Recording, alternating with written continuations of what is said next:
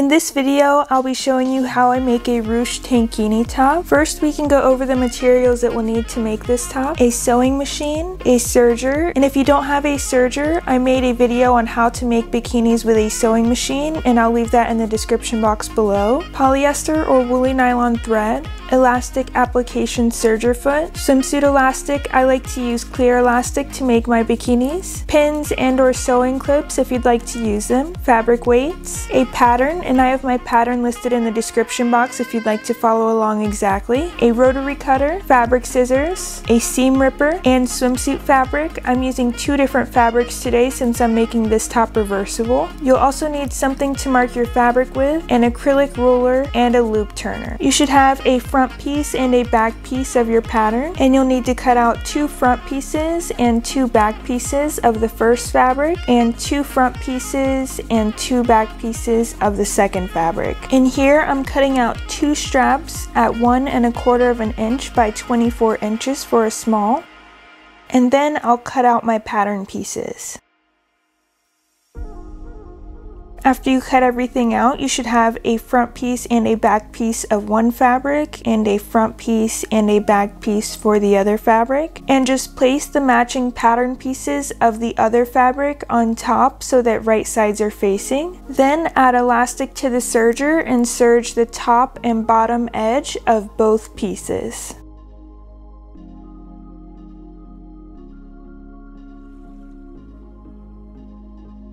We can also serge the strap. Fold the strap in half long ways and serge that edge with elastic attached. And if you'd like to see a more in-depth tutorial on how I make bikini straps, I'll leave the link to that video in the description box below. Once you've serged the straps, you can use the loop turner to turn them right side out and place them to the side. And this is what your pieces will look like after you've serged the top and bottom edge. And next use a seam ripper to create a hole in the seam on the back piece about an inch or so wide, just big enough to be able to turn the piece right side out. Next, flip both pieces right side out.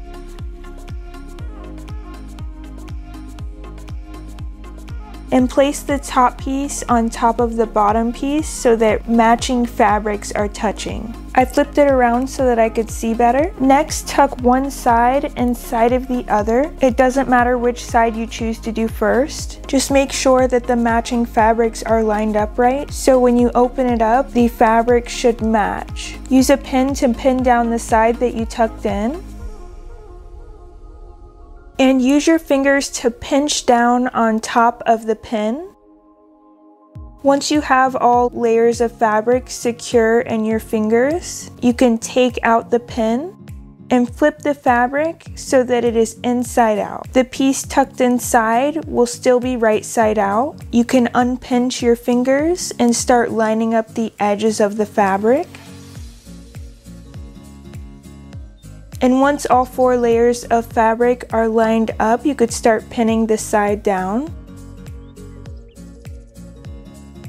And then sew down where you pin about a quarter of an inch away from the edge.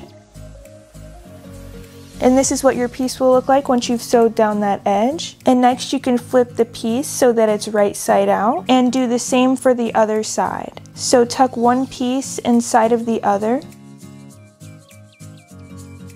and pin it down. But this time, since we don't have an open side, I'm going to use the hole that I made with the seam ripper to pull the fabric.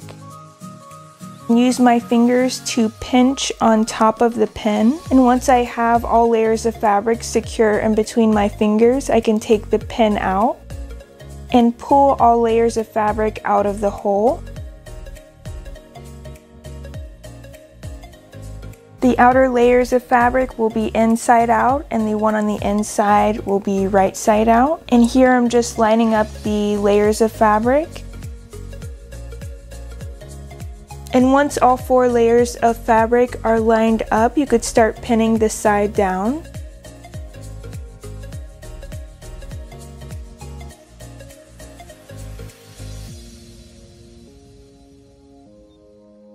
And then sew about a quarter of an inch away from the edge.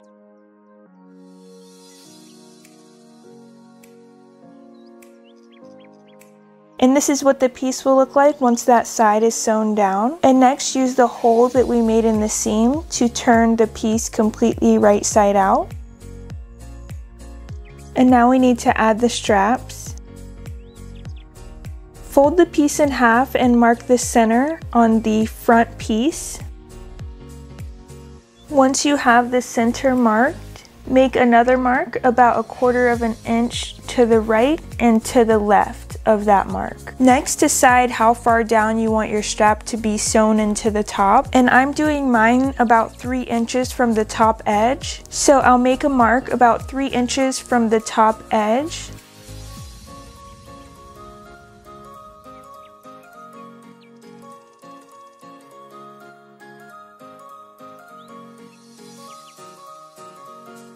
Once I've marked 3 inches from the top edge, I'll use the acrylic ruler to create dotted lines from the top to that 3 inch mark for all three marks.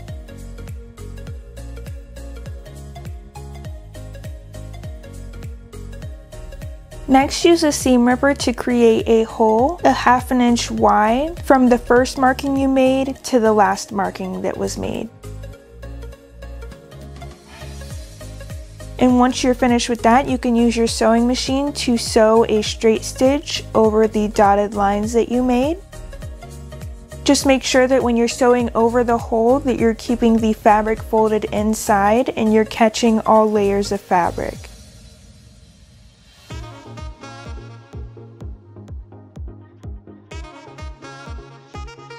And this is what your piece will look like once you've sewn those three lines. And next use your seam ripper to create a small hole in the bottom of the front piece in order to feed your straps through. It doesn't have to be that large, just big enough for your strap to fit through. And once you've done that, use your loop turner to go through the top of one of the tunnels that you created and bring it out through the hole you just created with the seam ripper connect the strap and pull the strap through to where it's right at that 3 inch mark of the tunnel. And do the same thing for the other tunnel with the other strap.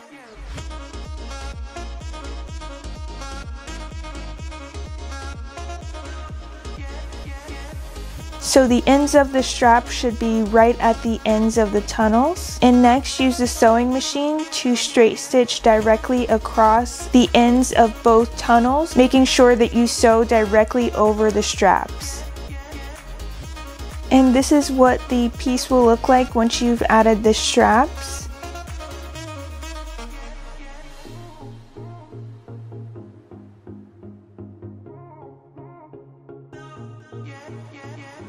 And next tie the ends of the straps and knots and close up the holes that you made with the seam ripper earlier. You can either hand sew them closed to keep everything seamless or you can use your sewing machine to top stitch directly on top. And once you do that, you're completely finished with this top. I love how comfortable and stylish this top is. If you have any questions, please feel free to let me know in the comments below. And until next time, I'll see you guys later.